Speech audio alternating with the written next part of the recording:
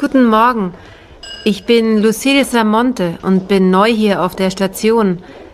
Bin ich hier richtig? Ja, guten Morgen. Ich bin Maria Baumgart. Ich bin die Stationsleitung. Schön, dass Sie da sind. Es freut mich, Sie kennenzulernen, Frau Baumgart.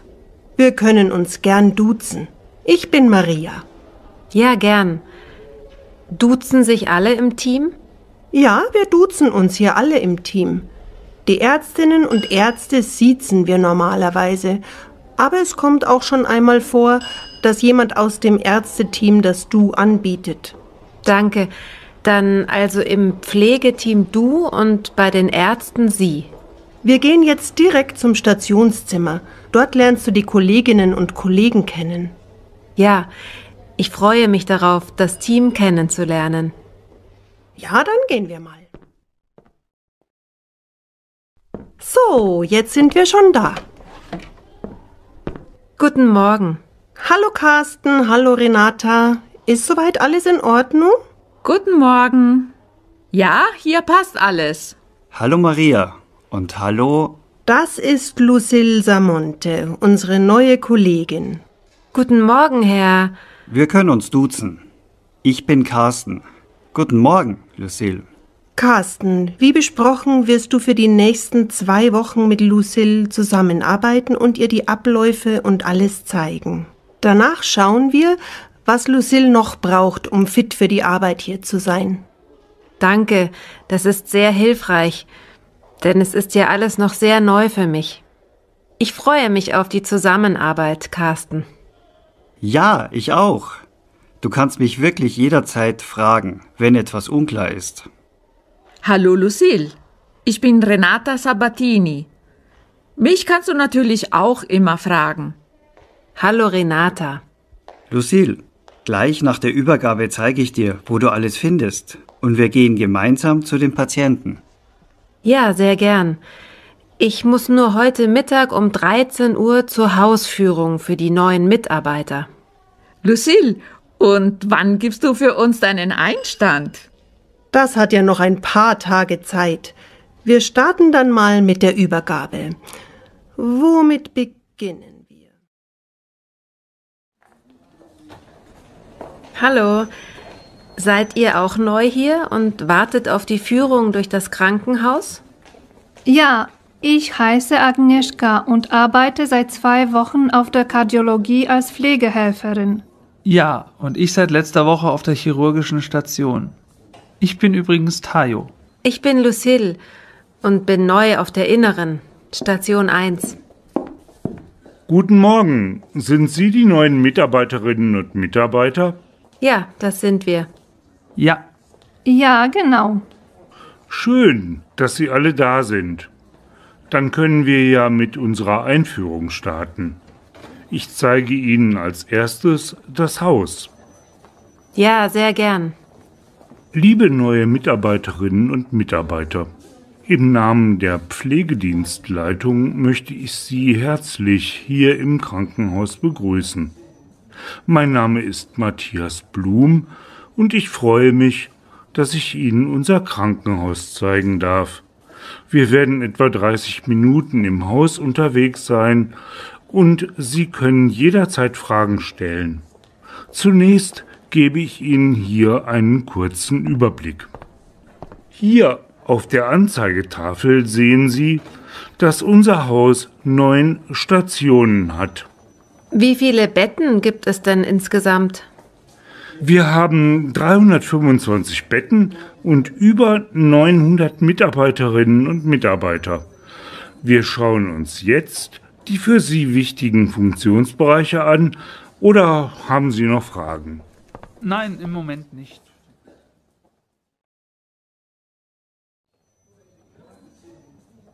Hier im Erdgeschoss befindet sich direkt neben dem Empfang die Ambulanz und auf der rechten Seite die Radiologie und die Kernspintomographie. Dann fahren wir jetzt ins erste Untergeschoss. Was befindet sich hier? Hier links, das ist die Abteilung Physiotherapie. Und ganz hinten rechts auf der Seite finden Sie die Cafeteria. Ist die Cafeteria nur für Mitarbeiter? Nein, sie steht allen offen.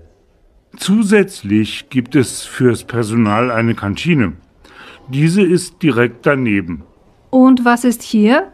Ist das die Apotheke? Genau.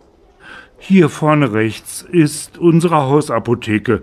Sie steht natürlich nicht auf dem Lageplan, da es ja keine öffentliche Apotheke ist. Dann fahren wir jetzt mal in das zweite Untergeschoss.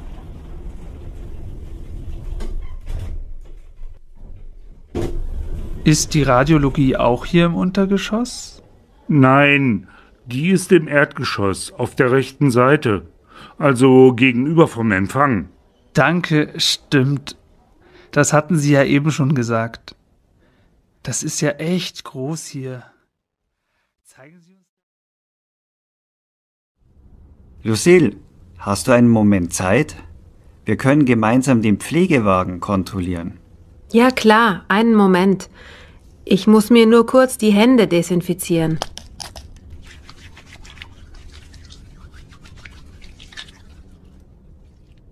So, dann zeige ich dir mal alles. Hier, die Ablage mit dem PC ist echt praktisch. Stimmt. Dann können wir sofort alles dokumentieren. Und hier der Abwurf ist für die Wäsche, oder? Ja, genau.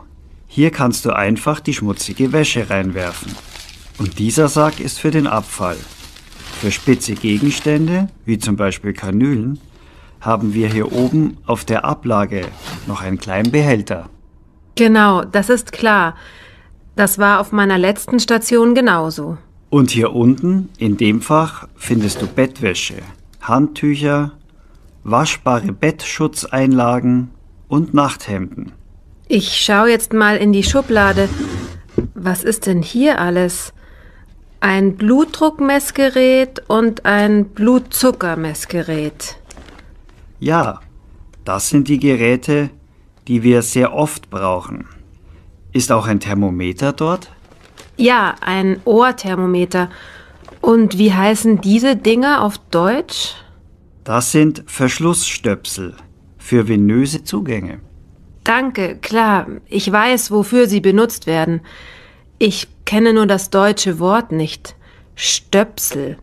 Verschlussstöpsel. Ich kenne nur das Wort Cone. Hm, auf Deutsch Kone? Genau. Verschlusskone kannst du auch sagen. Die Verschlussstöpsel müssen aufgefüllt werden. Von den Kanülenpflastern sind auch nicht mehr viele da. Stimmt. Es fehlen auch noch Fixierpflaster. Ja, Fixierpflaster brauchen wir auch. Die breiten und die schmalen. Und auch das Handdesinfektionsmittel ist fast leer. Ich zeig dir mal, wie du das, was fehlt, auffüllen kannst. Hier auf dieser Liste siehst du, was und wie viel im Wagen sein sollte. Ach so, das ist ja echt praktisch. Wir vergleichen jetzt einfach mal.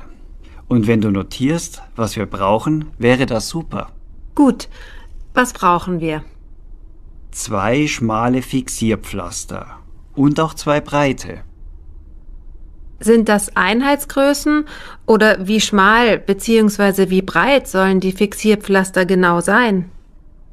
Die schmalen sind 1,25 cm und die breiten 2,5 cm. Okay, das habe ich notiert. Zwei schmale Fixierpflaster 1,25 cm und zwei breite 2,5 cm. Dann noch 10 Kanülenpflaster und eine Flasche Handdesinfektionsmittel. Was fehlt denn sonst noch? Moment. Zehn Kanülenpflaster und eine Flasche Handdesinfektionsmittel. 500 Milliliter? Ja, genau. 500 Milliliter. Dann diese Dinger für die venösen Zugänge, die Verschlusskonen. Stimmt. Von den Verschlussstöpseln brauchen wir auch 15. Schreib mal auf. Die 15 Verschlussstöpsel habe ich notiert. Sollten nicht auch mehr sterile Kompressen im Pflegewagen sein? Hier sind nur noch wenige. Genau. Schreib bitte noch Kompressen auf. Wir brauchen sie in den Größen 10 mal 10, 5 mal 10 und 7,5 mal 7,5. Jeweils fünf Päckchen. Bettwäsche und Handtücher sind auch nicht mehr viele da. Die Wäsche wird jeden Morgen automatisch auf die Station gebracht. Da zeige ich dir gleich auch, wo das Wäschelager ist. Danke. Ich sehe gerade, Inhalationslösung gibt es auch nur noch einmal 5 Milliliter. Ist das genug? Nein, das reicht nicht. Dann notier bitte noch 3 mal 5 Milliliter Inhalationslösung.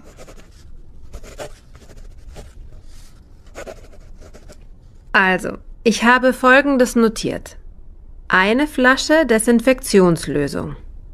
Zwei schmale Fixierpflaster 1,25 cm und zwei breite 2,5 cm. Zehn Kanülenpflaster, 15 Verschlussstöpsel. Je fünf Päckchen Kompressen, 10 mal 10, 5 mal 10, 7,5 mal 7,5 und 3 mal 5 Milliliter Inhalationslösung. War das alles?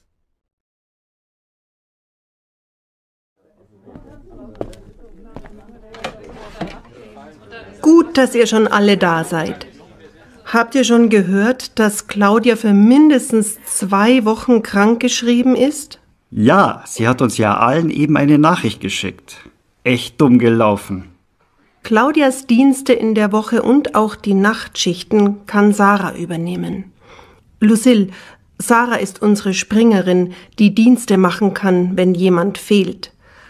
Aber der Dienst am nächsten Wochenende ist noch offen. Renata, ich habe gesehen, dass du dann frei hast. Kannst du das machen? Nein, das geht auf keinen Fall, denn ich muss meine Mutter besuchen.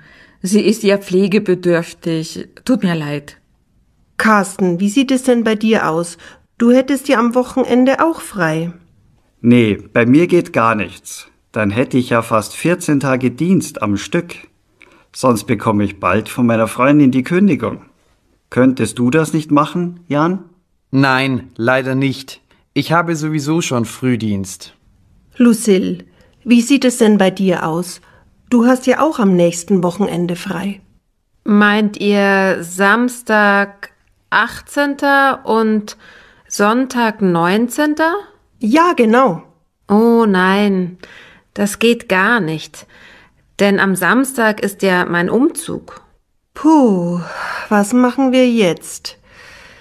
Ich habe am Samstagabend und am Sonntag auch schon Termine. Aber ich habe noch eine Idee. Wir können das auch teilen. Lucille, wäre es denn möglich, dass du am Sonntag die Spätschicht übernimmst? Ja, das sollte klappen. Der Umzug ist am Samstag und ich habe am Montag noch frei, um weiter einzuräumen. Ja, prima.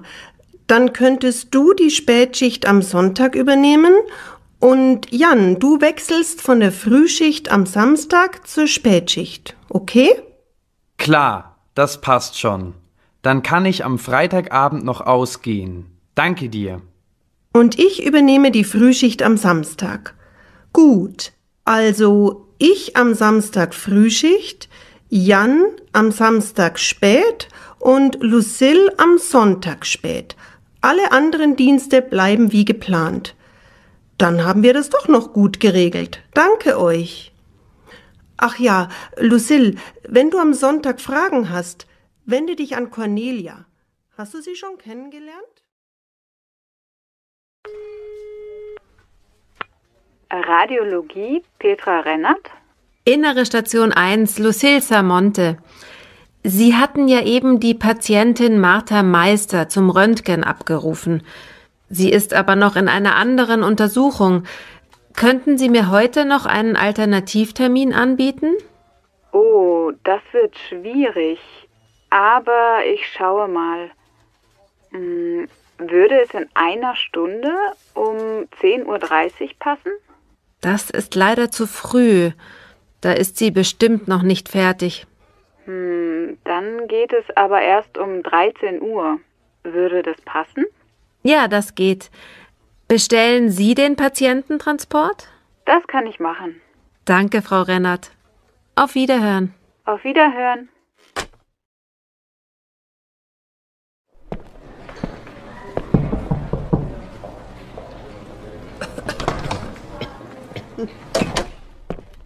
Guten Tag, Frau Meister. Ich bin Lucille. Ich war eben bei der Visite dabei. Ja, guten Tag. Sie fühlen sich ja gerade gar nicht so gut, was ich so bei der Visite mitbekommen habe. Mir geht es total schlecht. Ich habe kaum geschlafen und habe so Schmerzen in der Lunge. Alles tut weh. Das sticht beim Husten immer so. Ich mache mir wirklich große Sorgen. Sie haben ja auch Fieber. Das kann ich gut verstehen, dass Sie sich Sorgen machen. Ich kümmere mich erst einmal darum, dass Sie besser abhusten können. Ja, die Schmerzen beim Husten sind echt schlimm. Ich gebe Ihnen jetzt eine Brausetablette, die relativ schnell wirkt. Danke, aber das dauert ja bestimmt noch eine Weile, bis ich wieder gesund bin. Und bei der Arbeit bleibt auch alles liegen. Ja, da macht man sich immer große Sorgen. Das kenne ich auch. Aber darum werden sich Ihre Kollegen bestimmt kümmern. Und zu Hause ist auch so viel zu tun. Mein Mann ist viel unterwegs und die Kinder können ja nicht allein zu Hause sein. Das Wichtigste ist, dass Sie sich wieder erholen. Ich kann gut verstehen, dass Sie besorgt sind. Doch auch zu Hause gibt es bestimmt eine gute Lösung. Kommt denn Ihr Mann heute noch? Dann können Sie das in Ruhe besprechen. Ja, mein Mann und auch die Kinder kommen gleich. Aber ich bekomme kaum Luft und der Husten tut so weh. Die Tablette wirkt bestimmt schnell. Ich schließe Ihnen auch alles an, damit Sie inhalieren können. Zum Inhalieren bekommen Sie viermal eine Dosis. Ja, das wird mir sicher gut tun. Bestimmt. Dann schauen wir, dass es Ihnen jeden Tag besser geht. Wenn es mit der Atemnot schlimmer wird, melden Sie sich bitte sofort. Hm, meinen Sie denn, ich bin bald wieder zu Hause? Ich habe doch so viel um die Ohren. Jetzt brauchen Sie erst einmal Zeit für sich. Dann muss ich mir wohl wirklich mal Zeit nehmen. Ja, die Ruhe tut Ihnen bestimmt gut. Und unsere Ärzte können Ihnen dann schon bald genaueres sagen. 1. Das kann ich gut verstehen, dass Sie sich Sorgen machen. 2. Ja, da macht man sich immer große Sorgen. Das kenne ich auch. 3. Das Wichtigste ist, dass Sie sich wieder erholen. 4. Sie sollten sich jetzt erst einmal ausruhen. 5. Ich kann gut verstehen, dass Sie besorgt sind. 6. Dann schauen wir, dass es Ihnen jeden Tag besser geht. 7. Sicher wird es Ihnen schon bald besser gehen. 8. Jetzt brauchen Sie erst einmal Zeit für sich. 9. Ja, die Ruhe tut Ihnen bestimmt gut. 1. Schön, dass Sie da sind. 2. Es freut mich, Sie kennenzulernen. 3. Wir können uns gern duzen. 4. Wir duzen uns hier alle im Team. 5. Wie ist das hier im Team? Duzt oder siezt man sich? 6. Die Ärzte und Ärztinnen siezen wir normalerweise. sieben, Du kannst jederzeit fragen, wenn etwas unklar ist. acht, Es ist ja alles noch neu für mich. neun, Ich freue mich auf die Zusammenarbeit. zehn, Ich freue mich darauf, das Team kennenzulernen. Elf, Das ist Lucille, unsere neue Kollegin. zwölf, Danke, dass Sie mich einarbeiten. Wir brauchen vier Fixierpflaster schmal und fünf Fixierpflaster breit. Außerdem noch zwölf Päckchen Kompressen, sechs in den Größen 10 x 10 und sechs in den Größen 5 x 10. 7,5er haben wir noch. 35 Handtücher und 25 Betttücher. Drei Pakete Einmalhandschuhe und zwei Flaschen Handdesinfektionsmittel, 500 Milliliter. 4 mal 5 Milliliter Inhalationslösung. eins, Ich könnte am Dienstag den Spätdienst übernehmen. Zwei, Ich übernehme gern am Samstag die Frühschicht. drei, Das gesamte Wochenende kann ich leider nicht übernehmen. vier, Ja, das sollte klappen. fünf, Bei mir geht da gar nichts. sechs, Tut mir leid, da kann ich nicht. eins, Passt es auch später? Zwei, Hast du noch eine Alternative? drei, Wann geht es denn bei dir? vier, Kannst du mir gerade mal kurz helfen? fünf, Gehen Sie doch mal bitte kurz raus. sechs, Kannst du mal einen Trappo für Frau Meister besorgen? Willkommen im Seniorenheim.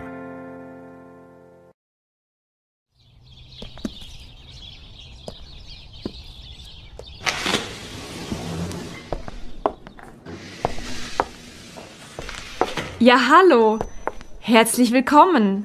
Herr Paulsen, oder? Jo, guten Tag. Prima. Haben Sie es denn schnell gefunden? Ja, ja, meine Tochter Bettina hat mich gut hergebracht. Ah, Guten Tag, Bettina Tim. Wir haben uns ja schon mal kennengelernt. ja, natürlich. Hallo, Frau Tim. Das ist aber schön, dass Sie Ihren Vater begleiten. So, Herr Paulsen, mein Name ist Marika Kovac und ich bin Ihre Bezugsbetreuerin.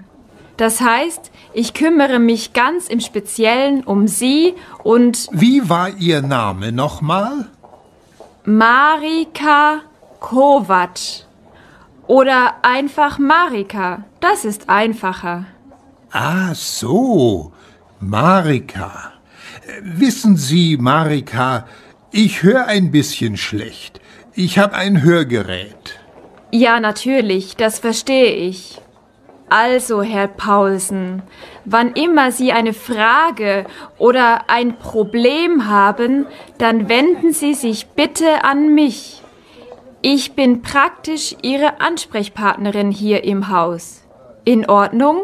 Gut, dann weiß ich Bescheid. Ihr Zimmer ist auch schon so gut wie fertig. Sie haben es ja mal gesehen bei Ihrem ersten Besuch, als es noch ganz leer war. Mittlerweile ist viel passiert. Ihre Möbel sind ja schon abgeholt worden. Wir haben das Zimmer auch eingerichtet, damit Sie sich auch ein bisschen zu Hause fühlen, wenn Sie hier ankommen. Dann kommen Sie doch mal mit. Ich begleite Sie zu Ihrem Zimmer. Ihren Rollator haben Sie ja auch schon dabei. Bettina, kommst du auch?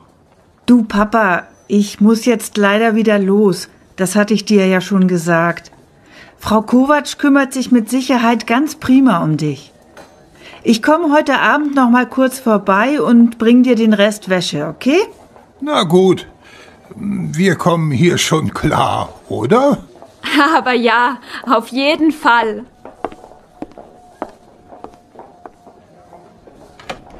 So, da wären wir. Wo sind denn meine Bilder? Die haben wir noch nicht aufgehängt, aber. Das würde ich gern selbst entscheiden, wo die dann hinkommen. Das kann ich gut verstehen. Genauso haben wir uns das auch gedacht. Wir haben einen sehr netten Hausmeister, den Herr Peters. Den schicke ich Ihnen nachher mal vorbei und dann können Sie gemeinsam überlegen, wo was hängen soll. Wäre das so in Ordnung für Sie? Natürlich. So, jetzt kommen Sie erstmal in Ruhe an und ruhen sich aus. Das ist ja alles sehr anstrengend. Und wenn Sie möchten, dann zeige ich Ihnen nachher noch unseren Speisesaal und den Aufenthaltsraum, wo Sie mit den anderen fernsehen können, wenn Sie mal nicht alleine in Ihrem Zimmer fernsehen wollen. Im Keller haben wir sogar ein kleines Bewegungsbad. Was ist denn das? Na ja, was ist das? Da kann man schwimmen oder Wassergymnastik machen. Eine Art kleiner Swimmingpool. Sie gucken sich das nachher am besten selbst mal an. Ich komme dann so in einer halben Stunde nochmal vorbei. Einverstanden? Jo, so machen wir das. Prima. Ja, natürlich. Das ist aber schön, dass Sie Ihren Vater begleiten. Aber ja, auf jeden Fall. Ja, genau, so machen wir das. Ist das in Ordnung? Wäre das so in Ordnung für Sie? Einverstanden? Das verstehe ich.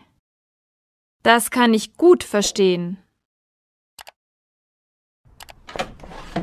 Moin, Herr Paulsen. Na, wie war die erste Nacht? Haben Sie sich denn schon ein bisschen eingelebt hier bei uns? Na ja, es geht so. Geschlafen habe ich nicht so gut. Es ist alles ein bisschen ungewohnt. Aber Sie sind alle sehr freundlich und hilfsbereit. Das muss ich schon sagen. Das verstehe ich sehr gut, Herr Paulsen. Der Anfang ist meistens etwas schwierig. Sich mit Mitte 80 nochmal komplett umzustellen, ist ja auch nicht so ganz einfach. Na, das kann man wohl sagen. Mein Garten fehlt mir sehr.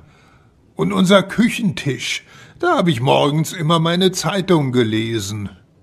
Auch wenn das vielleicht kein Trost ist, aber das geht hier am Anfang allen so.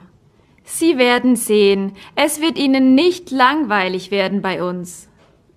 Herr Paulsen, darf ich mich vielleicht für ein paar Minuten zu Ihnen setzen? Vielleicht mögen Sie mir ja noch ein bisschen was über sich erzählen. Dann können wir insgesamt auch besser auf Ihre Bedürfnisse eingehen. Natürlich. Sie können sich gern zu mir setzen, Marika. Was möchten Sie denn hören? so spannende Sachen habe ich nun auch wieder nicht zu erzählen. Was machen Sie zum Beispiel gerne in Ihrer Freizeit? Haben Sie irgendwelche Hobbys? Womit beschäftigen Sie sich gern? Och, na ja, meine Frau und ich sind immer viel Fahrrad gefahren. Schon als die Kinder noch klein waren. Als Rentner waren wir dann jeden Morgen schon vor dem Frühstück unterwegs. Ja, das mochten wir gern. Später, als wir dann nicht mehr so konnten, sind wir immerhin noch jeden Tag ein Stückchen spazieren gegangen. Aber jetzt, wo meine Leni nicht mehr ist. Ich sehe schon, Herr Paulsen. Sie sind gerne in der Natur. Da sind Sie bei uns genau richtig.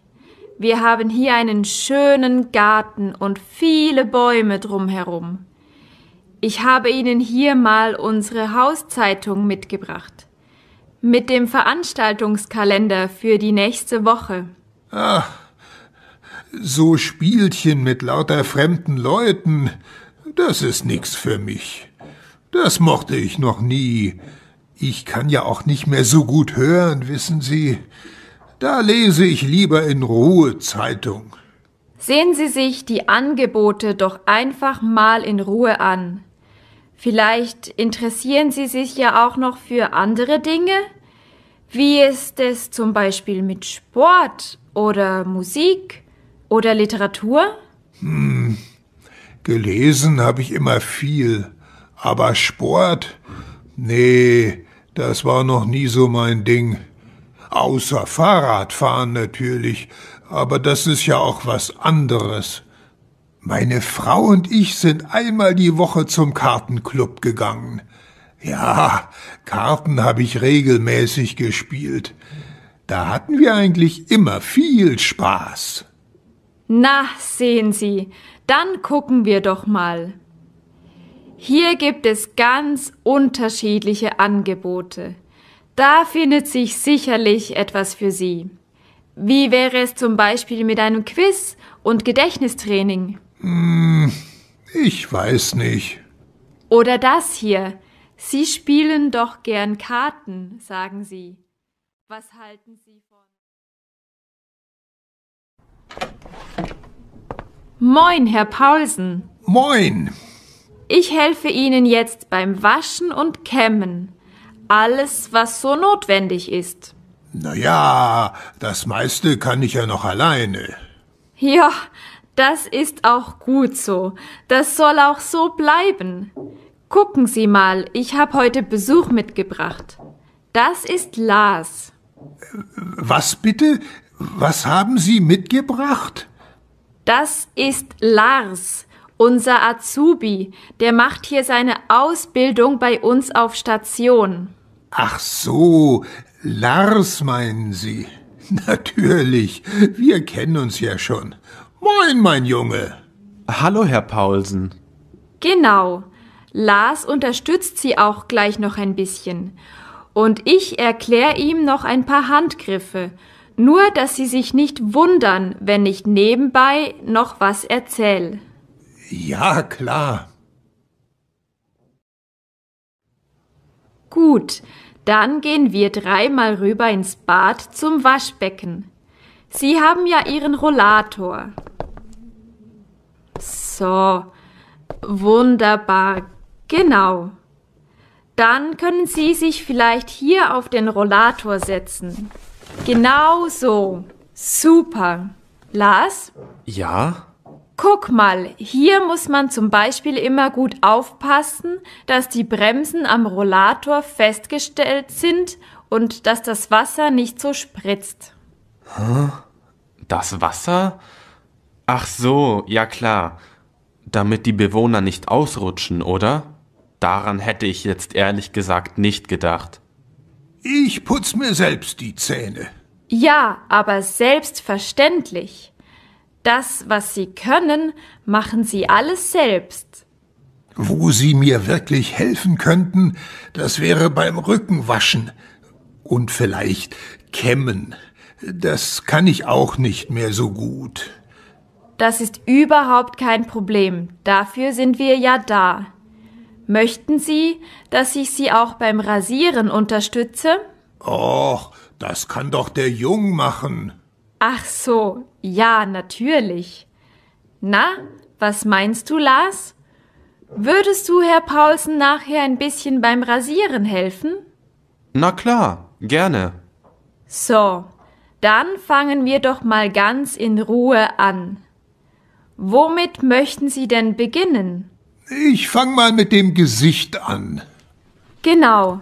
Hier ist ein frischer Waschlappen. Die Waschlotion stelle ich hier hin. Dann lassen wir Sie mal für einen Moment in Ruhe, Herr Paulsen. In Ordnung? Jo. Warum machen wir das eigentlich nicht gleich selbst? Das würde doch viel schneller gehen. Ja, das stimmt natürlich. Aber es ist in der Altenpflege ganz wichtig, dass man immer guckt, was die Bewohner für eigene Möglichkeiten haben und wo muss man wirklich nur ein bisschen unterstützen. Vielleicht reicht es ja auch aus, nur etwas bereitzulegen und in die Hand zu geben oder mit Handführung jemanden zu unterstützen.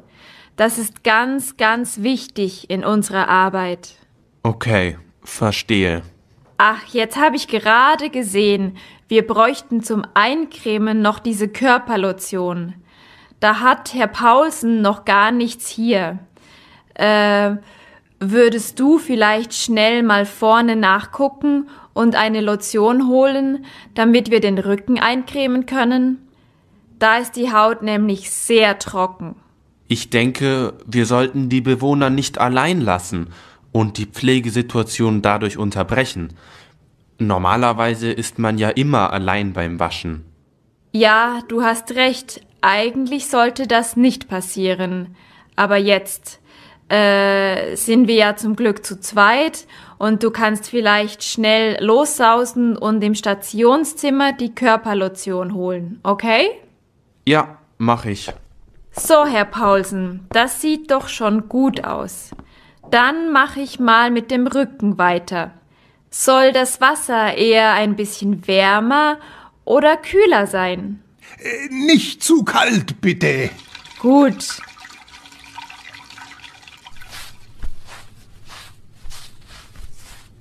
So, dann trockne ich sie noch schnell ab.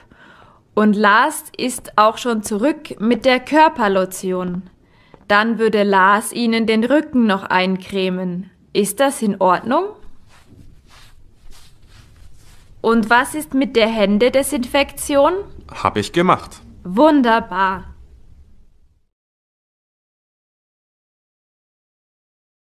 Wo ist denn mein Rollator? Wo ist denn meine Brille? Wo ist denn meine Hose? Wo ist denn Schwester Marika? Wo ist denn der Doktor? Wo sind denn meine Bilder? Wo sind denn meine Tabletten? Wo sind denn meine Töchter? Wo sind denn die Zeitschriften? Wo sind denn Hans und Lea? Was ist denn das?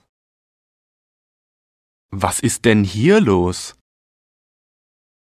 Was ist denn da passiert? Was möchten Sie denn hören? Was möchten Sie denn spielen? Was möchten Sie denn machen? Was möchten Sie denn singen? Was möchten Sie denn essen? Das ist aber schön. Das ist aber eine gute Idee. Das ist aber nett von Ihnen. Das ist aber eine nette Ärztin. Das ist aber ein schönes Lied.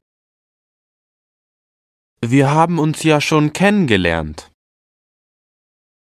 Wir haben uns ja schon mal gesehen. Wir haben uns ja schon mal begrüßt. Ihren Rollator haben Sie ja auch schon dabei.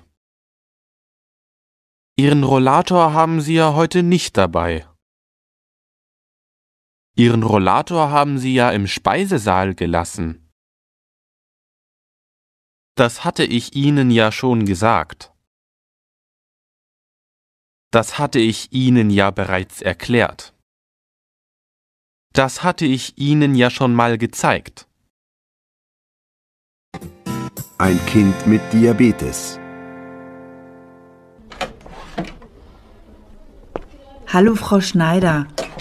Sie haben mich vorhin gefragt, ob ich Ihnen mit dem Fragebogen helfen kann. Soll ich Ihnen jetzt beim Ausfüllen des Fragebogens helfen? Haben Sie denn wirklich Zeit? Ich sehe doch, wie Sie hier den ganzen Tag rumrennen. Ja, das stimmt. Aber natürlich helfe ich Ihnen gerne. Ist das der Fragebogen für die Eltern? Ja, genau. Ich verstehe so gut wie kein Wort. Hm. Hm. Ja, da ist wirklich sehr viel Fachsprache. Wollen wir vorne anfangen? Super. Hier wird nach der Familienvorgeschichte gefragt. Typ 1 DM. DM heißt Diabetes mellitus und im Alltag sagt man Zuckerkrankheit dazu. Jonathan hat Typ 1. Das ist die Art, die man als Kind oder Jugendlicher bekommt und die plötzlich da ist.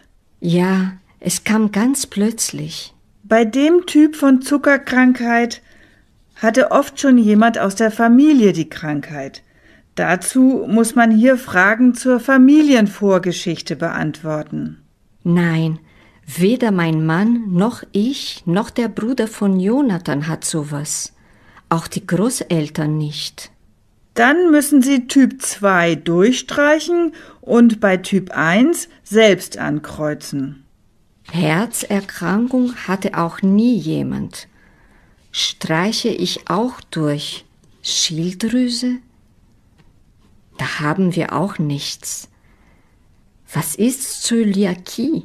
Das ist Glutenunverträglichkeit. Also wenn man kein Brot oder keine Nudeln verträgt. Nee, nee, haben wir alles nicht. Dann gehen wir hier zu den Kinderkrankheiten. Welche Kinderkrankheiten hatte Jonathan denn schon? Na, wir haben ihn ja gegen alles impfen lassen. Da hatte er nix, da streiche ich alles durch. Wir können gleich die Impfungen ankreuzen. So, sechsfach Schutzimpfung. Diphtherie, Tetanus, Pertussis, Hämophilus, Influenza Typ B, Poliomyelitis und Hepatitis B. Die Impfungen hat Jonathan alle.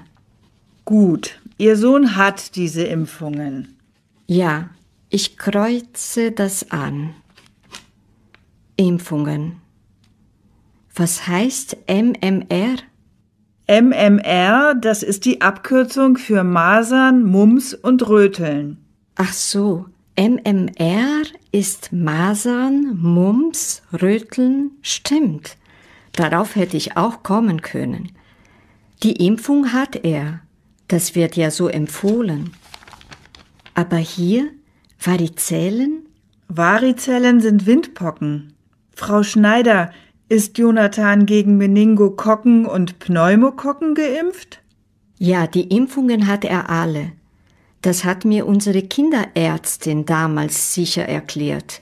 Aber ich habe vergessen, was das ist.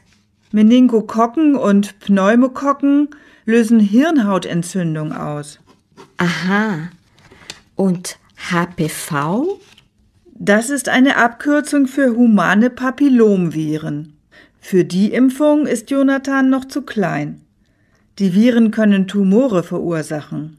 Okay. Ach, Schwester Edimioni, es ist so nett, dass Sie mir das alles erklären. Das Arztdeutsch ist schon schwierig. So, dann machen wir weiter. Hier fragt der Arzt nach der vegetativen Anamnese. Das sind so Sachen wie, ob der Patient außergewöhnlich viel schwitzt, sich erbrechen muss, ob er Probleme beim aufs Klo gehen hat, wie oft der Patient aufs Klo geht, wie viel Alkohol er trinkt, ob er raucht. Na, also bitte, Jonathan ist sieben. Aber ich verstehe schon.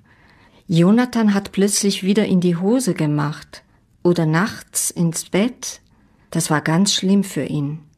Dann kreuzen Sie hier Inkontinenz tagsüber und nachts an. Hatte Jonathan Durchfall und Verstopfung? Durchfall manchmal. Verstopfung habe ich nicht bemerkt. War da noch was? Na ja. Er hatte einen kleinen Kratzer am Bein, der hat sich dann plötzlich entzündet und es hat sich Eiter gebildet. Gut, dass Sie es sagen. Das notieren wir dann hier. Kleiner Kratzer am Bein wurde zum Abzess. Solche Beobachtungen sind super wichtig. So, Alkohol und Zigaretten nein und Menstruation auch nicht. Dann sind wir fertig. genau. Hier kreuzen wir nichts an. Ach, ach Schwester Edimione, wenn wir Sie nicht hätten. Schwester Erimioni, haben Sie eine Minute Zeit? Könnten Sie uns noch mal was erklären? Ja, klar. Geht es um den Flyer, den Ihnen der Doktor gegeben hat? Ja, genau. Das hier mit dem Sportprogramm ist klar. Aber Jonathan spielt ja schon lange Fußball. Darf er das jetzt nicht mehr? Doch, natürlich. Natürlich kann Jonathan mit gesunden Kindern zusammen Sport machen. Kinder mit Diabetes sind in einer besonderen Situation. Sie sind die einzigen, die nach dem Sport keine Gummibärchen essen dürfen. Jonathan ist auch der einzige, der sich alle paar Stunden in den Finger stechen muss, um seinen Blutzucker zu kontrollieren und sich dann Insulin in den Bauch spritzt. Da kann man sich schon mal einsam fühlen. Manchmal ist es aber auch gut, wenn er in der Freizeit was mit anderen betroffenen Kindern macht. Hm. Ja, das stimmt. Und hier? Brauchen wir einen Psychologen? Na ja, vielleicht nicht. Aber die Krankheit verändert das Leben ihrer ganzen Familie. Alles dreht sich nur noch um Jonathans Diabetes. Da sind auch noch der Bruder und die Schwester. Und Sie als Eltern werden sich manchmal ganz schön alleine gelassen fühlen. Aber Sie sind nicht die Einzigen, die ein krankes Kind haben. Es ist wichtig, dass eine betroffene Familie Menschen kennenlernt, denen es genauso geht. Dafür gibt es die Gruppen. Da haben alle Eltern ein Kind mit Diabetes und man merkt, dass es anderen genauso geht. Selbsthilfegruppen sind wichtig. Ja, ja, ich verstehe. Eine gute Sache. Und was ist das? Ihr Kind hat eine chronische Krankheit. Der Gesetzgeber schreibt vor, dass Sie Anspruch auf Unterstützung haben. Die Krankenkasse muss dem Kind eine Begleitperson für die Schule bezahlen. Was ist denn eine Begleitperson? Das ist eine erwachsene Person, die sich mit der Krankheit bei Kindern auskennt, so eine Art Assistentin. Die begleitet Jonathan zur Schule. Dann ist jemand da, wenn mal was sein sollte. Ach so. Das ist natürlich gut.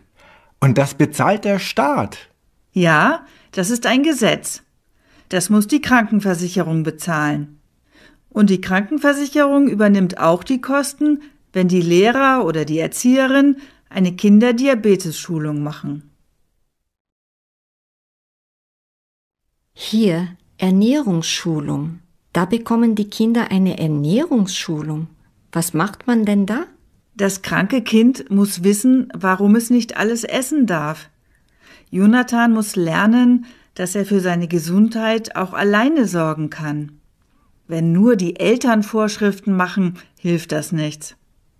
In der Ernährungsschulung erklärt man den Kindern, worauf sie bei der Ernährung achten müssen. Ja, ja. Und wir Eltern können uns aber auch schulen lassen, steht hier. Ja, klar. Sie und Ihr Sohn müssen zusammenarbeiten. Dann wird Jonathan ein normales Leben führen, wie andere Kinder auch. Da, da steht auch Hilfen, wenn das Kind nicht mitmacht. Passiert das oft? Ja, das passiert schon. Wenn Kinder nicht mitmachen, schaden sie sich selbst. Eltern müssen dann richtig reagieren. Dafür gibt es in den Workshops Beratung. Jetzt haben wir alles verstanden. Vielen Dank wieder mal für Ihre Hilfe, Schwester Eremioni.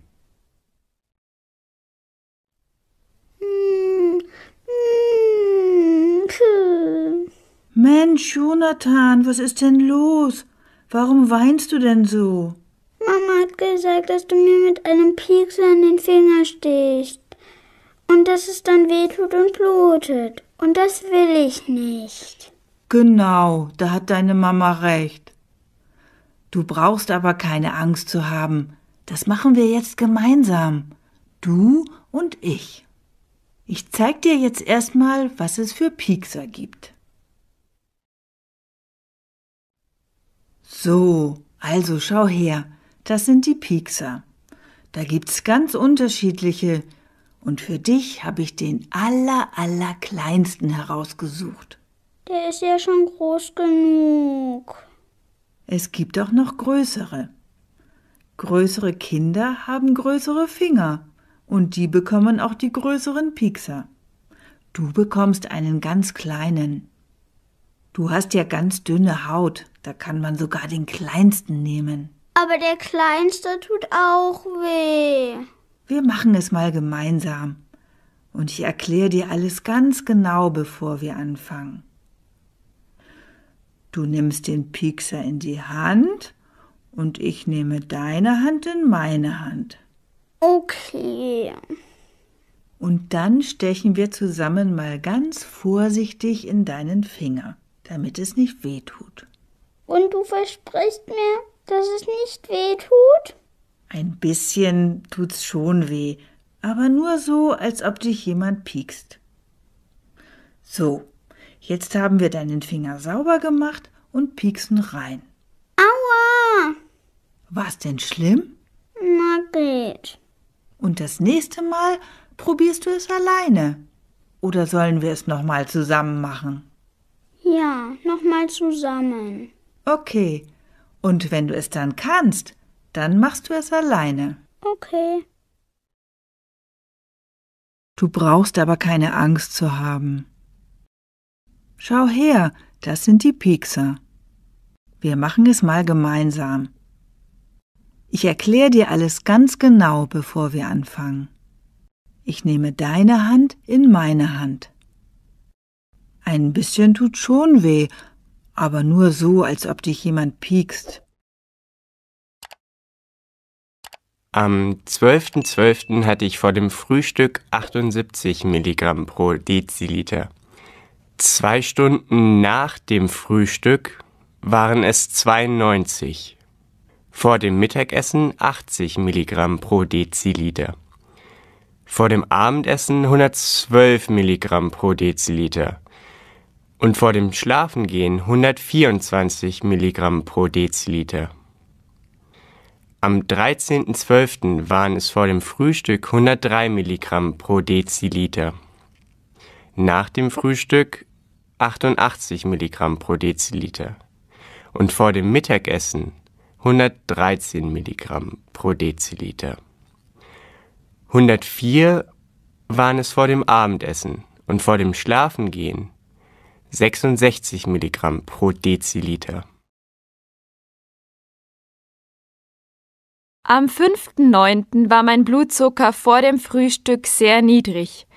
Ich hatte nur 69 Milligramm pro Deziliter. Zwei Stunden nach dem Frühstück war alles im Normbereich und mein Blutzucker lag bei 87. Vor dem Mittagessen 105 Milligramm pro Deziliter, das war leicht zu hoch. Und vor dem Abendessen auch 112 Milligramm pro Deziliter. Vor dem Schlafengehen waren es 99 Milligramm pro Deziliter. Am 6.9. lag mein Blutzucker bei 102 Milligramm pro Deziliter vor dem Frühstück, vor dem Mittagessen bei 84, vor dem Schlafengehen bei 86. Vor dem Abendessen hatte ich einen Blutzucker von 83 Milligramm pro Deziliter. Ach ja, nach dem Frühstück war er ein bisschen zu hoch. Da hatte ich 123. Es tut schon ein bisschen weh, aber nur so, als ob dich jemand piekst. Manchmal darfst du was Süßes essen.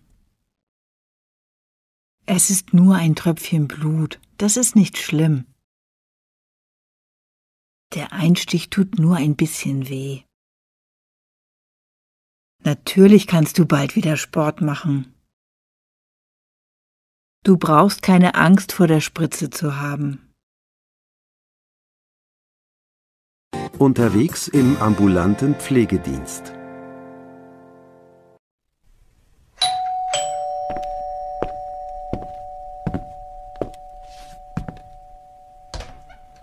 Guten Tag, Frau Mix.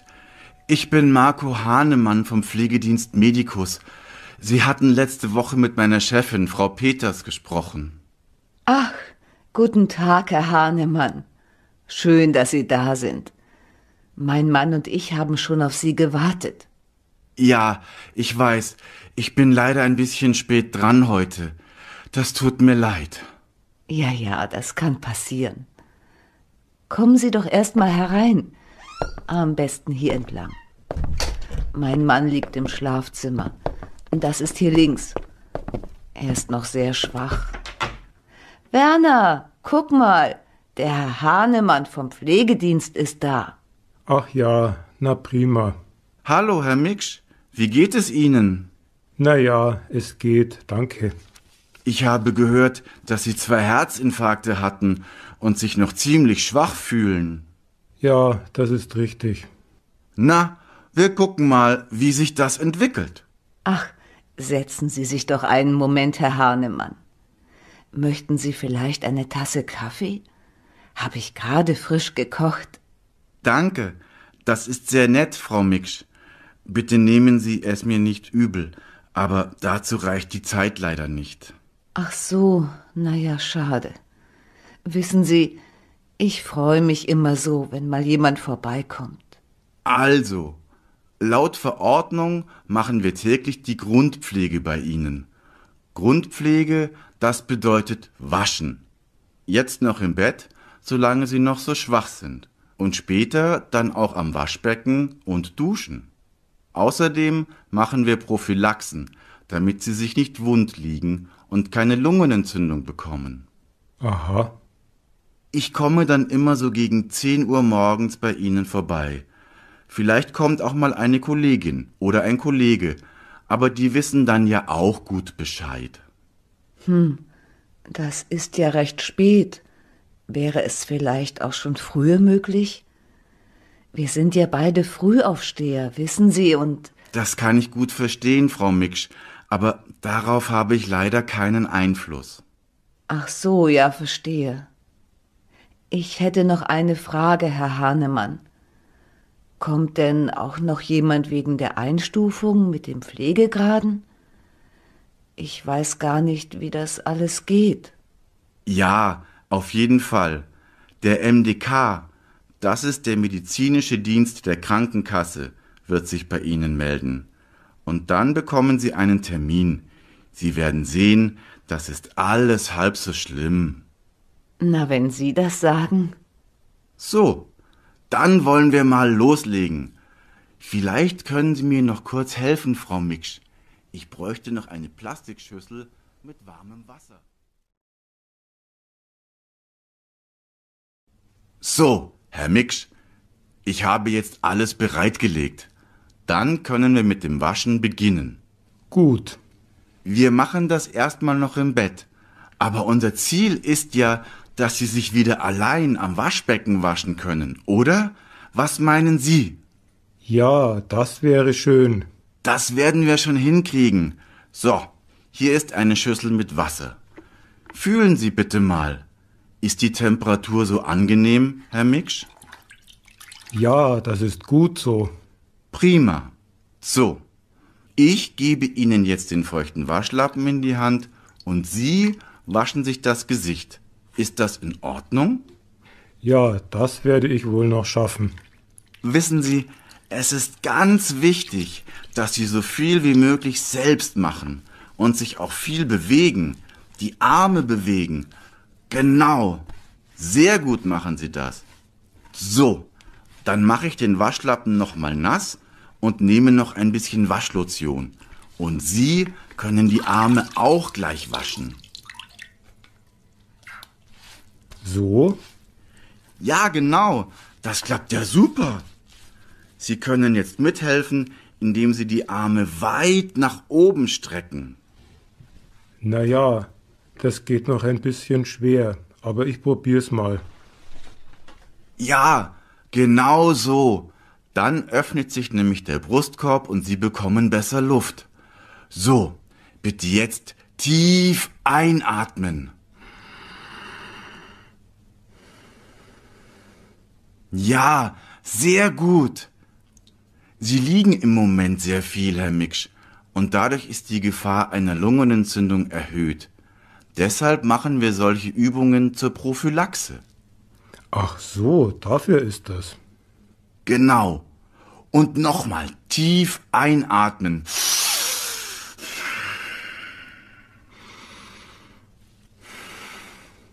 Sehr gut. Wunderbar. Ich wasche Ihnen jetzt noch die Brust und trockne sie ab. Und jetzt können Sie mitmachen, indem Sie das linke Bein aufstellen. Genau.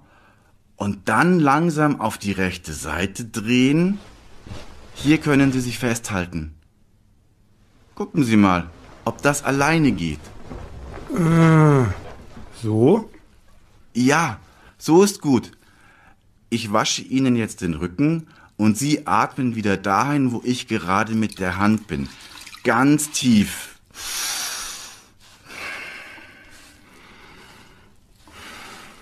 Ja, prima. Sehr gut. Soll ich Ihnen den Rücken vorsichtig mit dem Handtuch abrubbeln? Mögen Sie das? Das regt die Durchblutung an. Ja, ja, machen Sie nur. Gut, jetzt klopfe ich den Rücken noch ein bisschen ab. Dann können Sie den Schleim besser abhusten. Ist gut. Hier ist eine Körperlotion. Passt die? Ja, wunderbar, danke sehr. So, jetzt nicht erschrecken, wenn es ein bisschen kühl wird am Rücken. Ich creme Ihren Rücken ein, damit die Haut schön feucht bleibt. Das kann ich ja dann auch ab und zu mal machen. Genau, das wäre gut. Und noch etwas, Frau Miksch, bevor ich's vergesse. Bei Herzinfarktpatienten ist es immer wichtig, dass der Oberkörper immer mal wieder hochgelagert wird. So, Herr Miksch, jetzt sind wir fertig mit der Grundpflege. Und ich würde Ihnen und vor allem Ihrer Frau gern noch ein paar wichtige Handgriffe zeigen. Wenn man viel im Bett liegt, ist nämlich die Gefahr relativ hoch, dass man sich wund liegt. Und mit diesen kleinen Tricks verhindern wir, dass das passiert. Aha. Es ist sehr wichtig, dass Sie immer wieder die Liegeposition Ihres Mannes verändern, damit es nicht zu offenen Stellen kommt. Das nennt man Dekubitus oder Druckgeschwür. Oh je. Ja, gehört habe ich das schon mal. Und das sollten Sie bitte auch machen, wenn ich nicht da bin. Ich komme ja nur einmal am Tag und das reicht natürlich nicht. So, dafür brauchen wir ein paar Kissen. Sie drehen sich am besten wieder auf die Seite. Genau. Äh, wieder das Bein aufstellen. Und jetzt lege ich dieses dicke Kissen hier seitlich unter Ihren Rücken, um das Steißbein zu entlasten. Das zweite Kissen lege ich zwischen die Beine. Aha. Und bleibt das dann so? Am besten wechseln Sie die Seite so alle zwei bis drei Stunden. Das hängt vom Zustand der Haut ab. Ansonsten kann es eben leicht zu diesen offenen Stellen kommen. Verstehe. Genau. Das wollen wir auf jeden Fall verhindern. Und deshalb ist eben auch Bewegung so wichtig. So, Herr Miksch, jetzt drehen Sie sich bitte wieder zurück auf den Rücken. Jawohl, so ist es prima. Und jetzt habe ich hier noch ein kleines Kissen. Das lege ich Ihnen unter Ihre Knie, damit die nicht so in der Luft hängen. Oh ja, danke, das ist angenehm. Gut, jetzt versuchen Sie bitte mal, das rechte Bein anzuheben. Ich helfe Ihnen. Gar nicht so einfach. Wunderbar. Und Frau Miksch, Sie legen jetzt mal bitte das kleine Kissen so unter das Bein, dass die Ferse in der Luft hängt, also keinen Kontakt zur Matratze hat. Ja, genau so. Wir müssen die Ferse frei lagern, damit da kein Dekubitus entsteht. Na, Herr Miksch, wie liegen Sie denn jetzt? Ganz gut eigentlich. So, Frau Miksch, ich zeige Ihnen noch ein paar wichtige Handgriffe. So, Herr Miksch, das ging doch ganz prima heute. Dann wasche ich jetzt noch Ihren Intimbereich, wenn das für Sie in Ordnung ist. Ja, natürlich. Ich ziehe Ihnen jetzt vorsichtig die Hose aus, damit ich die Inkontinenzvorlage wechseln kann. Könnten Sie das Gesäß bitte mal ein bisschen anheben? Geht das? Ja, so geht's noch. Sehr gut. Jetzt habe ich hier einen Waschlappen. Nicht erschrecken. Jetzt wasche ich vorsichtig Ihren Penis und Ihre Hoden. Keine Sorge, ich tue Ihnen nicht weh. Ich mache das ganz vorsichtig. So. Im Krankenhaus hat mich jeden Tag eine andere Schwester gewaschen. Das war mir schon ein bisschen unangenehm. Ja, das verstehe ich. Aber da brauchen Sie keine Sorge zu haben. Wir machen das jeden Tag. Das gehört zu unserem Beruf dazu. Ja, schon. Aber irgendwie ist es mir doch lieber, wenn's ein Mann macht. So. Äh, Bitte drehen Sie sich noch auf die Seite, dann wasche ich noch den Analbereich und die Pobacken. Jetzt nicht erschrecken, es ist feucht. Ja, okay. So, jetzt trockne ich sie noch ab. Sehr gut. Die Haut sieht gut aus. Kein Problem. Alles wunderbar. Sie können sich wieder zurückdrehen. Die neue Vorlage habe ich schon reingelegt. Gut so? Ja, wunderbar. Vielen Dank. Wie sieht's denn mit dem Stuhlgang aus? Wann haben Sie denn das letzte Mal abgeführt? Ach, äh, das ist schon eine Weile her. Dann besprechen Sie das am besten auch mal mit dem Hausarzt, ob Sie da vielleicht noch etwas zum Abführen nehmen sollten. Gut, das mache ich.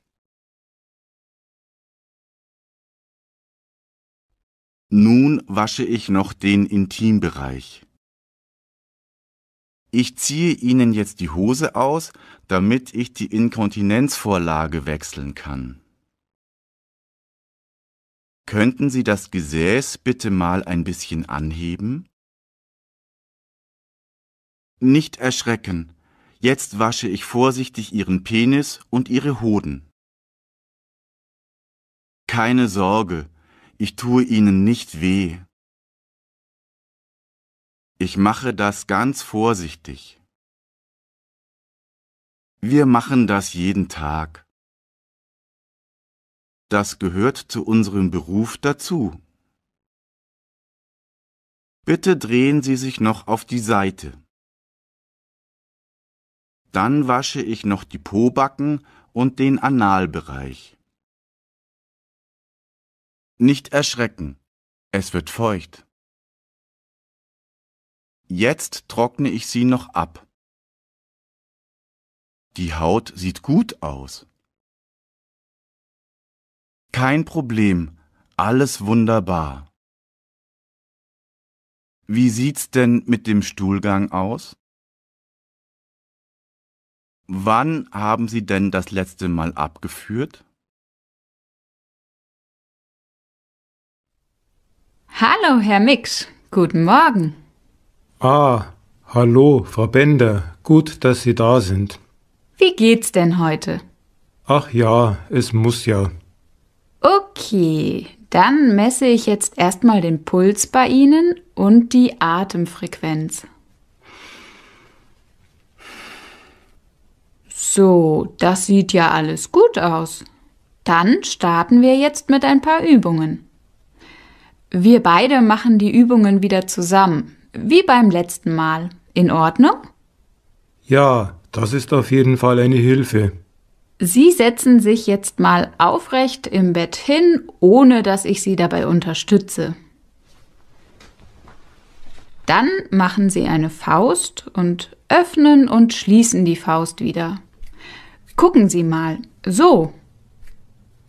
Könnten Sie mir vielleicht doch ein bisschen helfen? Natürlich. Ich bin da, wenn Sie meine Hilfe brauchen. Aber das schaffen Sie doch schon gut allein. Sehr gut. Ein bisschen schneller, Herr Mix. Jawohl, das machen Sie gut. Dann winkeln Sie den rechten Ellenbogen an. Den linken Arm strecken Sie aus und immer abwechselnd. Einmal ausstrecken und einmal anwinkeln. Jawohl. Na, geht das? Alles in Ordnung, Herr Mix? Ja, es strengt ein bisschen an. Gut, dann machen wir eine kurze Pause und Sie atmen nochmal tief durch die Nase ein und durch den Mund aus.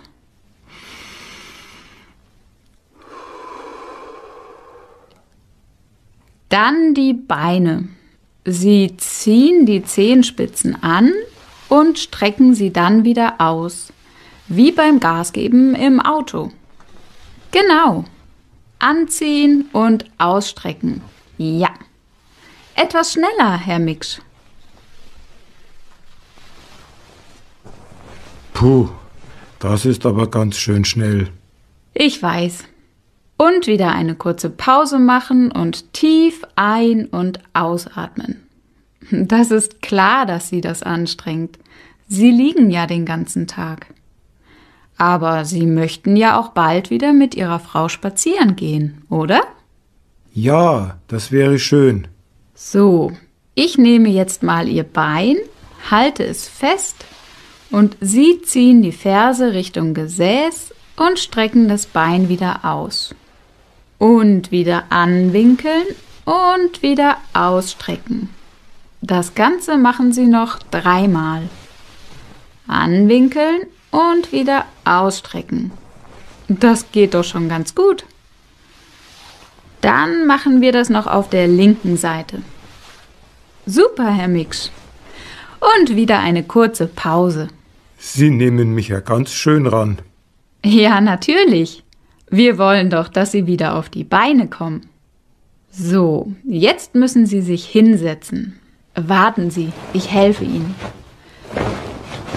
Wir nehmen beide Beine über die Seite und Sie kommen langsam hoch. Sie setzen sich jetzt auf die Bettkante. Die Füße stehen am Boden. Sie versuchen sich aufzurichten, gerade zu sitzen, ohne die Schultern hochzuziehen. Die Schultern nehmen Sie zurück und atmen ganz tief ein und aus. Oh, ich glaube, mir ist schwindlig. Ja, das ist ganz normal. Sie liegen ja auch den ganzen Tag. Das ist gleich wieder weg. So. Und zum Schluss gibt's noch ein Glas Wasser. Sie wissen ja, trinken ist ganz, ganz wichtig. Danke, Frau Bender. Gut, Sie legen sich ganz vorsichtig wieder hin. So. Wichtig ist, dass der Oberkörper erhöht liegt. Und wenn Ihnen langweilig ist im Bett, dann können Sie gern zwischendurch mal die Übungen machen. Das kann ich gut verstehen, aber darauf habe ich leider keinen Einfluss. Bitte nehmen Sie es mir nicht übel, aber dazu reicht die Zeit leider nicht. Sie werden sehen, das ist alles halb so schlimm. Laut Verordnung machen wir täglich die Grundpflege bei Ihnen. Entschuldigen Sie bitte meine Verspätung. Ich bin leider ein bisschen spät dran heute, das tut mir leid. Das gehört leider nicht zu meinem Aufgabenbereich. Na, wir gucken mal, wie sich das entwickelt. Außerdem machen wir verschiedene Prophylaxen, damit Sie sich nicht wund liegen und keine Lungenentzündung bekommen. Sie waschen sich das Gesicht selbst. Ich gebe Ihnen den feuchten Waschlappen jetzt mal in die Hand und Sie waschen sich das Gesicht selbst. Ist die Temperatur so angenehm? Fühlen Sie bitte mal. Ist die Temperatur so angenehm? Sie können gleich mit den Armen weitermachen. Dann mache ich den Waschlappen nochmal nass und Sie können gleich mit den Armen weitermachen.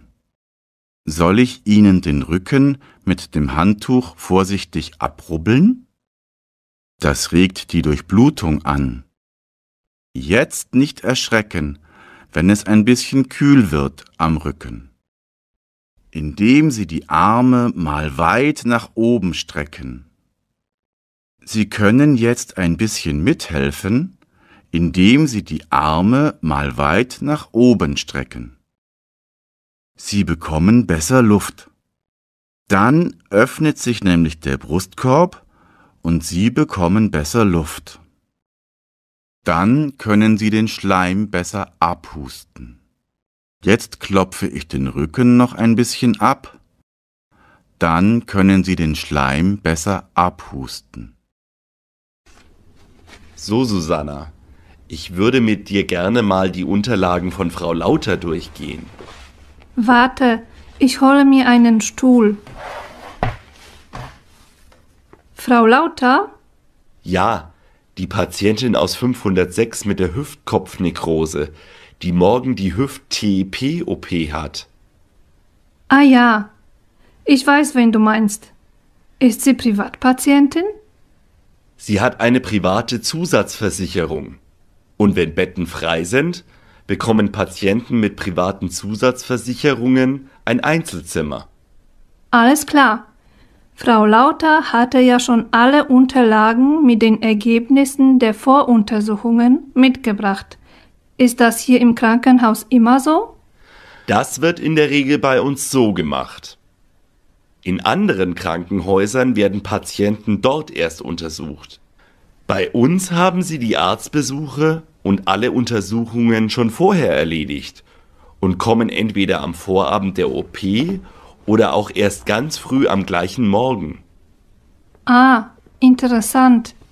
Wir sehen die Unterlagen mal durch und ich erkläre dir alles. Super. Ich mache mir am besten Notizen. Okay.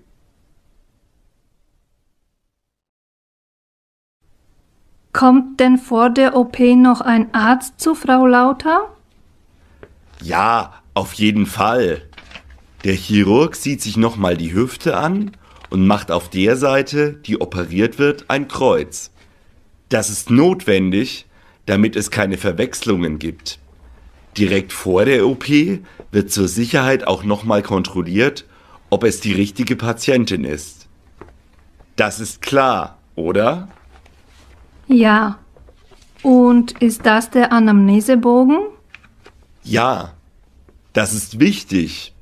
Der Anästhesist muss wissen, welche Risikofaktoren es gibt und was die Narkose erschweren könnte, so wie hier bei Frau Lauter die Tachykardie. Hier steht ja auch, was Frau Lauter an Medikamenten einnimmt. Richtig. Der Anästhesist notiert hier auch, ob Frau Lauter noch morgens vor der OP die Medikamente nehmen muss oder auch, ob es eine Medikamentenallergie gibt, wie bei Frau Lauter das Buscopan. Interessant. Dürfen Patienten überhaupt vor der OP Tabletten mit Wasser einnehmen? Sie müssen doch nüchtern sein. Ja. Hier ist wichtig, dass es wirklich nur ein Schluck Wasser ist. Am besten sogar ohne Wasser. Warum müssen Patienten eigentlich nüchtern sein? Es besteht das Risiko, dass der Patient zu Beginn der Narkose erbricht. Dabei kann Magensaft oder der Mageninhalt in die Lunge kommen. Stimmt, und es kann zu einer Lungenentzündung führen. Genau. Sehr gut. Nun zu den Laborwerten und dem EKG. Wesentlich ist hier zum Beispiel, wie die Blutgerinnung oder wie der Ausgangs-HB-Wert ist. Was ist, wenn die Laborwerte nicht stimmen?